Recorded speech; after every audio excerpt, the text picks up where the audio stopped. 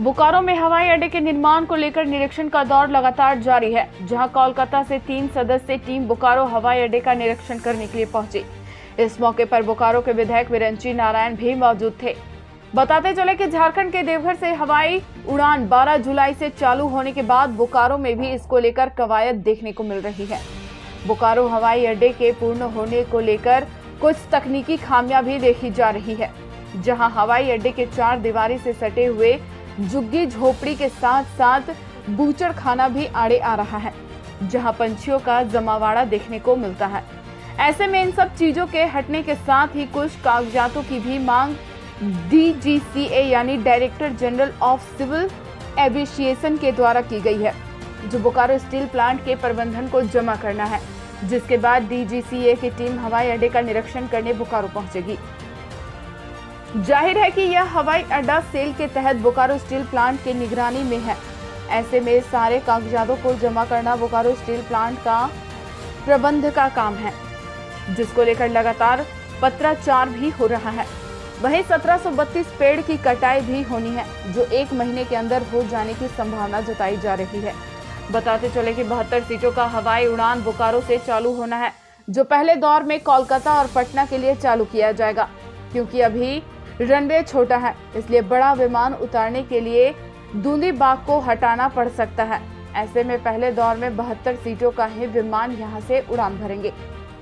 कोलकाता से आए अधिकारी ने कहा कि जितनी जल्दी बोकारो स्टील प्लांट के द्वारा कागजातों का काम करके दिया जाएगा, उतना ही जल्दी डीजीसीए के टीम द्वारा निरीक्षण किया जाएगा। उन्होंने कहा कि उसी के तहत इस हवाई अड्डे का सारा दारोमदार टिका हुआ है। क्योंकि इंजीनियरिंग का काम लगभग पूरा हो चुका है और कंस्ट्रक्शन भी लगभग पूरे होने के कगार पर है। उन्होंने कहा कि इस साल के अंत तक लोग सफ़ाई सफ़र का आनंद ले सकते हैं। वहीं बोकारो के विधायक विरंचित नारायण ने कहा कि बहुत जल्द ही हवाई अड्डे का काम पूरा कर लिया जाएगा। जो भी तकनीकी खामियाँ हैं, उसके लिए ज़िले के संबंधित अधिकारियों को कहा गया है ताकि जल्द से जल्द काम पूरा हो और बोकारो से भी हवाई उड़ान चालू हो सके। उन्होंने कहा कि पहले दौर में पटना और कोलकाता के लिए हवाई उड़ान चालू की जाएगी।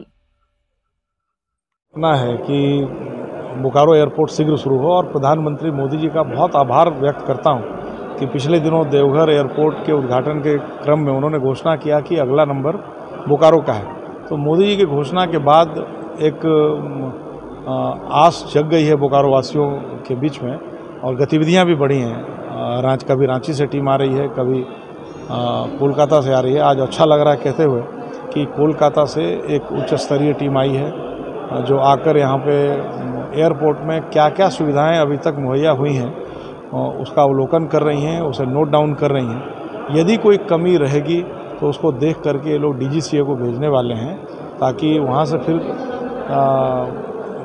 व्यापक रूप से इंस्ट्रक्शंस आ जाएँ और जो एयरपोर्ट ऑपरेशन का काम है, वो सही तरीके से शुरू हो जाए। तो मैं उम्मीद करता हूँ कि इस साल निश्चित रूप से हम लोग बोकारो जो हवाई, बोकारो से हवाई जहाज़ उड़ता देख सकेंगे।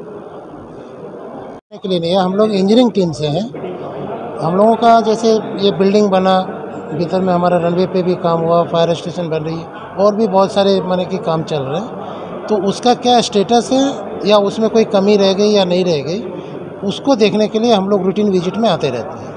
तो उसी रूटीन विज़िट में ये भी विज़िट है। अभी आपने क्या क्या देखा है? क्या अभी क्या तो जैसे हम लोग अभी बिल्डिंग ही देख रहे थे तो बिल्डिंग में तो मैं देख रहा हूँ कि लगभग मेरा काम पूरा है।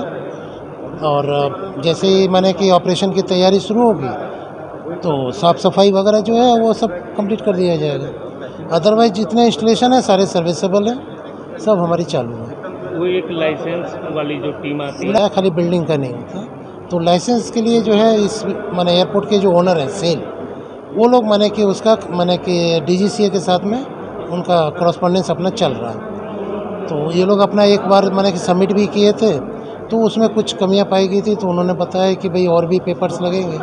तो वो भी फिर करके उनको दे दिया गया है। तो अब हमारे हिसाब से सेकेंड राउंड फिर डीजीसीए की टीम आएगी। मतलब आप लोग के हिसाब से ये पूरा तैयार एयरपोर्ट तैयार जी।